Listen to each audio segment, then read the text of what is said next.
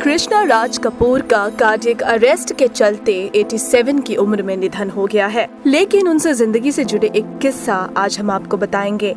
दरअसल, नरगिस से दूरियाँ बढ़ने के बाद राज कपूर अपनी पत्नी कृष्णा के पास लौट आए थे। करियर में नरगिस के बाद उनकी कई एक्ट्रेसेस के साथ जोड़ी बनी। शुरुआत में उनका नाम पद्मिनी से भी जुड़ा, लेकिन वैजंती माला से उनकी करीबियों की चर्चा आज भी की जाती है। वैजंती माला और राज कपूर की शादी की खबर से दुखी होकर कृष्णा राज एक बार राज कपूर को छोड़कर अपने बच्चों के साथ एक होटल में रहने चली गई थी।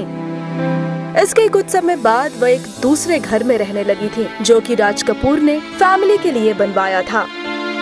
इस किस्से का ज़िक्र एक बार ऋषि कपूर ने किया था। उन्होंने कहा, मुझे याद है जब वैजंती माला और पापा का अफेयर था। माँ हमें लेकर मुंबई के नटराज होटल में रहने चली गई थी। इसके बाद दो महीने के लिए हम चित्रकूट चले गए थे, जहाँ पापा ने हमारे लिए एक अपार्टमेंट लिया था। उन्होंने माँ को दोबारा पाने की भरपूर कोशिश की थी, लेकिन वह नहीं मानी थी। कई लिंकअप्स के चलते भी कृष्णा ने राज कपूर को कभी नहीं छोड़ा। वह चुपचाप सब सहती रही। हालाँकि राज कपूर का प्यार अपनी पत्नी कृष्णा कपूर के लिए हर किसी ने सराहा है।